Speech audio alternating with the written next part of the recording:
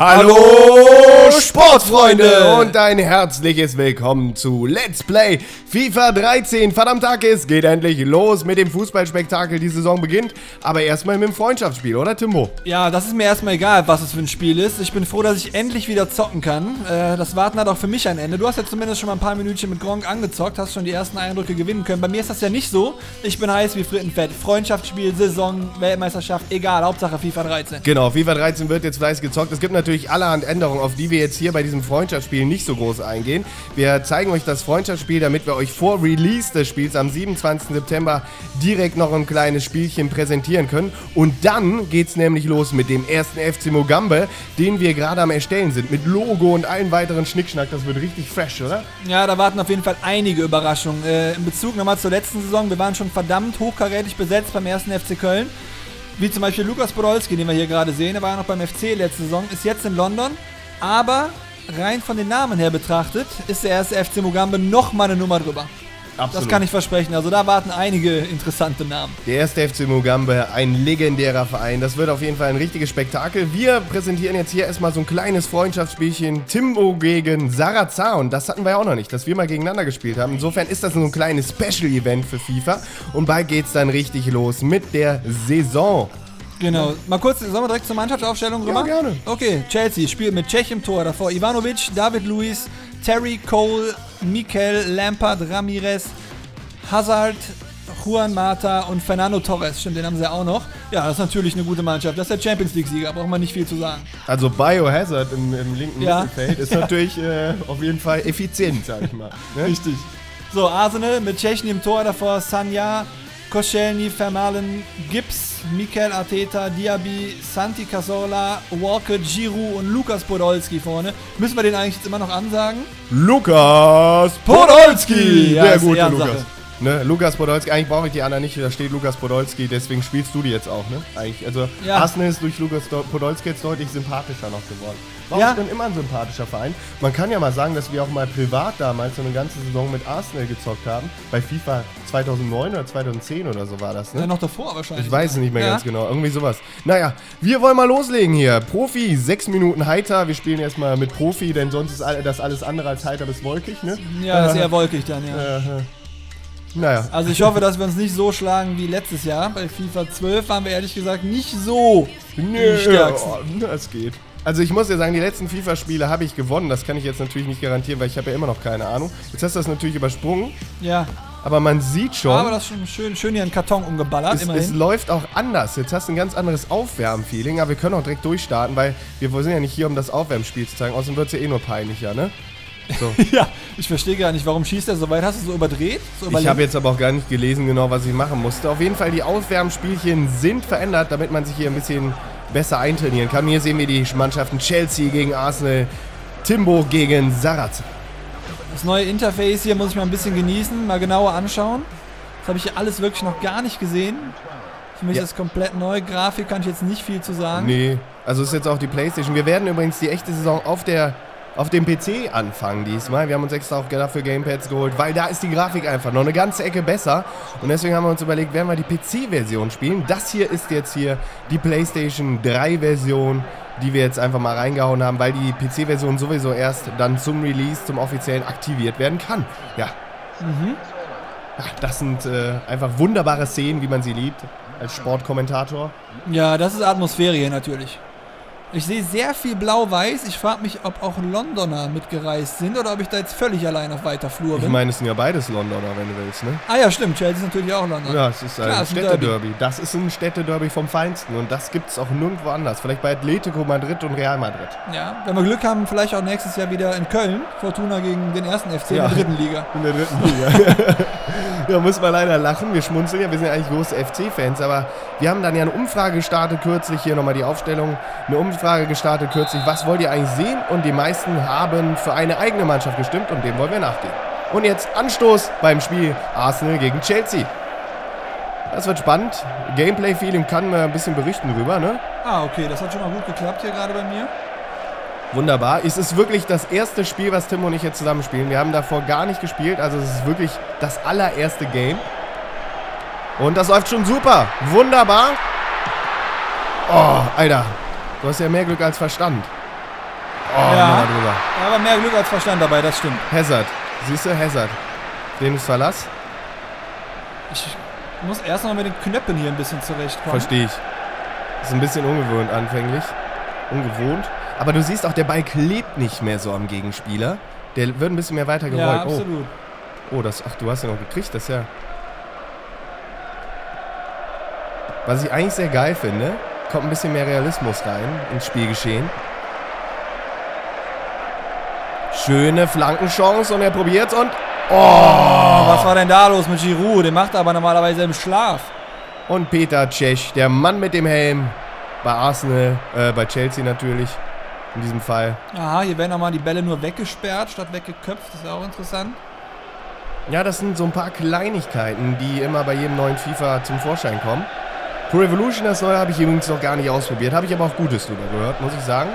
Ähm, allerdings ist FIFA für mich einfach auch der Vorreiter, weil es einfach die bessere Lizenzgeschichte und Was ist denn da los hat. da vorne? Mann, Mann, Mann. Wo ist Lukas Podolski? Wieso bin ich so langsam ohne Ball? Wo beschleunige ich nochmal? Das weiß ich auch gerade doch. L, L, äh, 1, nee, L2 war es. L2? Oder war es nicht L2? War es doch. Also auf unseren Tasten, auf unseren Tasteneinstellungen müsste es L2 gewesen sein. Ja? Oder war das R? Nee, das war L ist Spielerwechsel. Ich muss mich auch erstmal wieder einspielen hier, Alter. Kennst du ja überhaupt nicht mehr. Jawohl! Schön, schönes Tor. Santi. Santi Casola, Genau. den ich ehrlich gesagt nicht kenne. Man mag mich Die steinigen dafür. Emotion ist unglaublich, weil wir ich auch so die Steuerung voll drauf Wäre haben, das ne? Tor hier von Fridolin Schlömpel erzielt worden, ich würde hier an die Decke springen, aber naja. Ja, wir müssen erstmal noch ein bisschen auch in die Steuerung reinkommen, ne? Ja, ich auch, absolut. ne also ich bin da noch nicht ganz äh, drinne jetzt. Vor allem Man war merkt ich schon, also- ich kann es noch nicht genau benennen, aber es sind schon Unterschiede, auch im Gameplay, im Gegensatz zu FIFA 12. Oh, siehst du, wie du den jetzt gepresst hast, den Ball auch, war interessant. So nach vorne gedrückt. Ich weiß immer noch nicht, wie ich, wie ich beschleunige so richtig. Ich komme mir auch extrem langsam vor. Oder ist der am Beschleunigen? Ich meine, Ja, ich drücke hier die ganze Zeit mal unsere Beschleunigungstaste. Jetzt probiere ich es mal aus. Nee, der ist doch nicht schnell. Nee. Aber ich komme auch nicht hinterher ohne Ah, Ball. okay. Ah, schade. Das ist ganz schwach, das Aufbauspiel von Ah, Arsenal. okay. Es ist R, R äh, unten. Also R2. Warum sage ich dir das eigentlich? Ich spiele heute gegen dich. Aber es ist ja nur ein Freundschaftsspiel. Wir wollen ja eigentlich nur mal kurz uns einspielen. Werden danach wahrscheinlich auch noch Ah, ein, zwei Trainingsspiele machen, bevor wir mit dem FC Oh Mugambe Mann, oh. Mann. Ja, definitiv. Also, Also, äh, ich muss absolut sind schon die ersten Kommentare, die ich gerade sehe. So, oh mein Gott, seid ihr schlecht. Das stimmt. Aber wir durften das Spiel immer ein paar Tage vor dir zocken. Nee, nee, nee, nee, nee. Oh Gott, wie langsam bin ich denn? Oh, da hätte ich rüberpassen müssen natürlich, um den Ausgleich Ja. zu erzielen. Und so langsam wird spannend. So langsam kommt man rein. Ja, so eine Abwehr komme ich absolut noch nicht rein, wenn ich ehrlich bin. Wunderbares Oh äh, Mann. Oh, oh. Das hätte bei FIFA 12 auch, glaube ich, auch nicht geklappt, so schnell. Muss ich einfach mal so sagen. Diaby. Podolski, der gute Lukas. Wo passt er denn hin? Aber er hinten? nicht zu weit nach vorne gelegt, das Ding.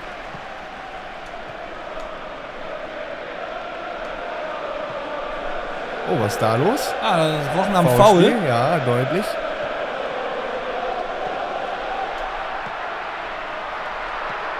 Ja, schön. Nein, das gibt's doch gar nicht. Chechny hat wieder super aufgepasst. Das gibt's doch gar nicht. Weitere Ecke für Chelsea. Ja, die war schon besser Ja, gelungen. da merkt man aber, dass äh, da vorne so ein Drogba fehlt, ne, bei Chelsea. Ja, der war ja früher mal da, ne? Ja, Da waren bis noch zur letzten Zeiten. Saison hat er noch zum. Champions League-Sieger gemacht in München. Ja, was, das, worüber will ich jetzt nicht sprechen. Also, das war wirklich so eine Aktion. Ich weiß nicht. Richtig zum Sieger hat er sie auch nicht gemacht. Das waren ja die Elfmeter, ne? Die letztendlich Nee. entschieden haben. War das Oder- doch ah, doch, das war sogar ein Elfmeter, ja. Wahnsinn. Obwohl hat er ja dann schon irgendwo auch entschieden, klar. Je nachdem. Ja, er hat auch den Ausgleich in der Verlängerung gemacht, ne?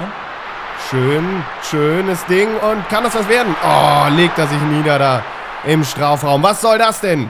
Sagner. Jetzt am Ball.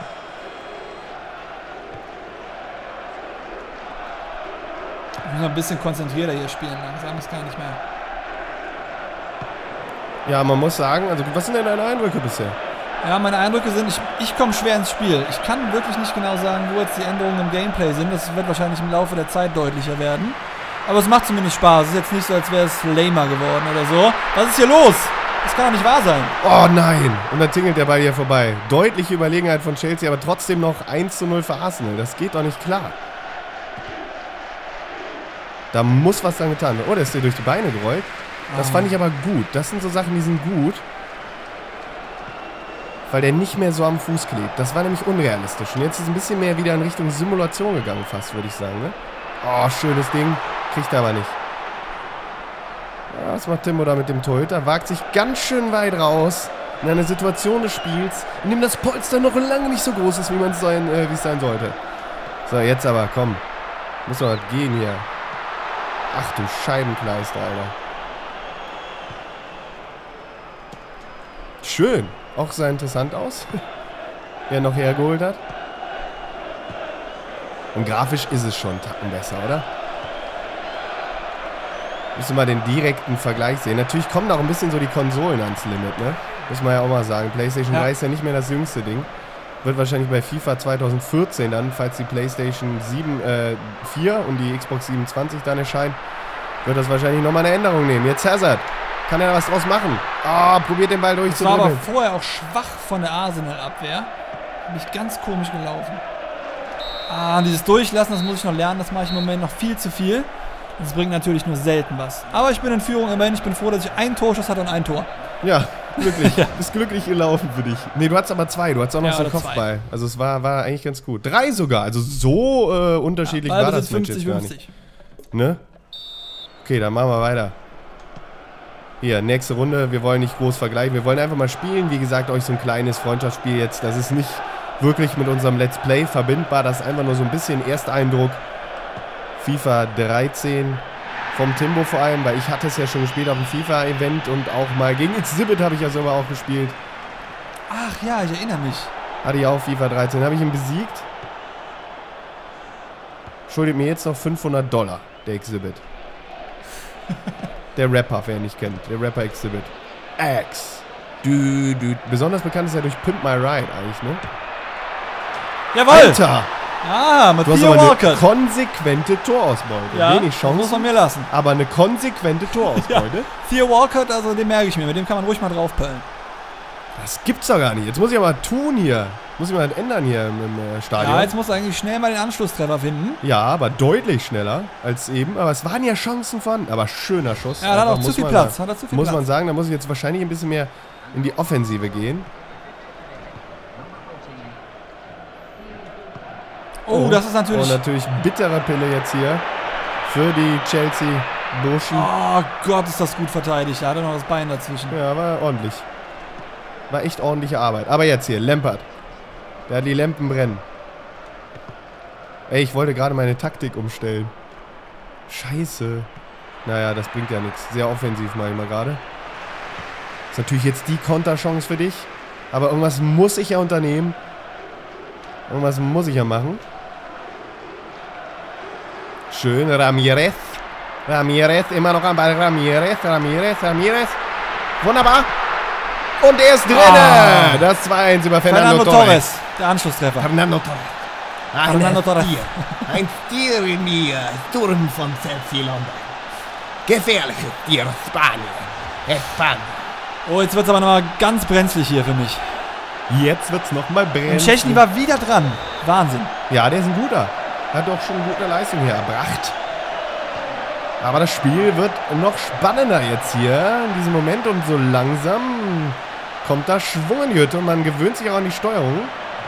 Das sind so ein paar Sachen, wo man sich erstmal wieder einspielen musste halt. Was denn? Schön. Das war doch ein Traumpass. Ja, Wieso- war es auch, aber kam zum Glück nicht an. Mann, mich sehr Mann, Mann. gefreut. Ist das Oh. abseits? Nee, ist kein Abseits. Ach, doch nicht dahin. Da wollte ich natürlich nicht hin. Huch, interessant. Interessant gemacht hier, diese Aktion. Ja, er klebt wirklich nicht mehr am Fuß. Also der Ball, du Nee. kannst nicht mehr so krasse Ja, er vertitscht schon ein, zwei Meter Ja, mal. was auch gut so ist, muss ich sagen. Ja, absolut. Sehr realistisch halt. Wesentlich taktischerer Spielaufbau. Auch wenn man das am Anfang vielleicht gar nicht so gut findet, wenn man es jetzt objektiv mal betrachtet. finde ich es eigentlich ganz nice. Oh, Ecke. Eckball. Erneut Ecke für Chelsea. Ich glaube, das ist die dritte mittlerweile. In der 62. Minute. Und der ist sehr gefährlich. Oh, Eckball. Nochmal Ecke. Schönes Ding. Wird es das 2 zu 2 jetzt hier. Könnte es das werden? Kopfball. Ah, zu, Zu überhastet von da hinten. Ah, das war nix. Das war einfach nichts. So, Abstoß. Weit in die Mitte. Ja, dass der auch nicht immer jeden blöden Ball mit dem Kopfball nimmt. Finde ich auch Ja, gut. finde ich auch gut. Das gefällt mir sehr gut. Schöner Hackentrick hier in dieser Situation. Wunderbar. Da unten ist jemand frei. Schöner Pass. Okay. Oh. Na, das ist ein schwerer Ballverlust, den ich mir eigentlich nicht mehr erlauben kann in einer solchen Situation des Spiels. Ah, da ist Giroud ein Tick zu Aber- langsam. Ah, ne, Podolski war es. Ja, Das war Poldi. Ja, war Poldi. Also, oh. Da habe ich gerade einen sehr schlechten Fehlpass agiert. Hm. Boah, Alter. Eieiei. Eieiei, da geht's aber hinten, hinten ab hier in der Abwehr. Da wird schon gestochen und gefuchtelt mit dem Füßlein. Das ist schon nicht mehr feierlich. Nein, wohin? Da wollte ich doch nicht hin. Ich wollte nach oben direkt. Heiliger Bim Bambino. Aber ich glaube, es war auch mein Fehler. Also ich kann es nicht aufs Spiel schieben, leider. Ich glaube, ich habe mich ja auch eben verdrückt, weil ich da kurz einen Moment vorher hochgelaufen bin. Soll ich... Ah, soll ich stören? Oh, Latte. Latte, Andi Latte. Schade. Andi Latte ist auch ein ganz netter, der Andi Latte. Oh, faul. Ja, wollte ich ja, sagen. ja. Da habe ich so schön den Fuß sozusagen. Hast du gesehen? Da Ganz- muss ich aufpassen. ganz, ist so ein gefährlicher ganz, äh, Lattenschuss nach so Trick. Konter. Das ist... Ui.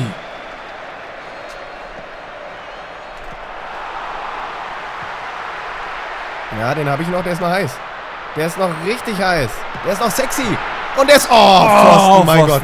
Mein Gott, was für eine Spannung hier im Stadion, liebe Damen und Herren. Kann da noch was gehen?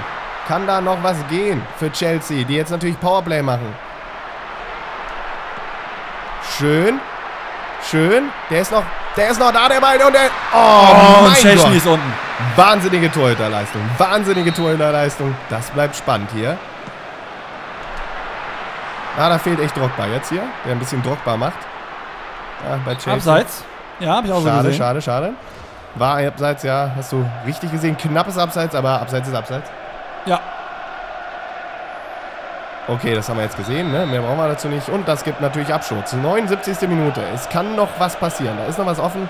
Für beide Seiten kann sogar noch was Die passieren. Abschläge sind auf jeden Fall sehr, äh, sehr anders als in FIFA 12, aber viel realistischer. Ja, das hat mich immer ein bisschen genervt, weil umso höher die, größer die Leute im Mittelfeld waren, umso mehr. Ja, genau. Es Konntest konnte du da sehr, sehr durchstarten? spielbeeinflussend sein.